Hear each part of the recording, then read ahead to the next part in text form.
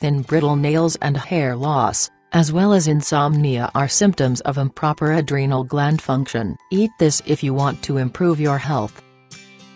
For the recipe, you'll need 1 ginger, 1 tablespoon of raw honey, 4 Brazilian walnuts, handful of parsley leaves, dried, a few raisins. First, you'll need to put the Brazilian walnuts and the parsley in a blender. Blend for a few minutes, then add the raisins, honey and ginger. Blend again for a few minutes until you see that the mixture is homogeneous and ready for consumption. You'll need to use 2 tablespoons of the mixture in the morning on an empty stomach, at least twice a week. When you notice that the symptoms are fading and your nails are strong again, your hair is growing and your sleep is improved, you can stop using it. However, if you get used to it, continue using it because you can only get benefits from it. There are no side effects or limitations related to its usage. As you can see, the ingredients are perfectly natural, so if you eat it for a long period, you won't make a mistake. If you like my videos give it thumbs up and share with your friends.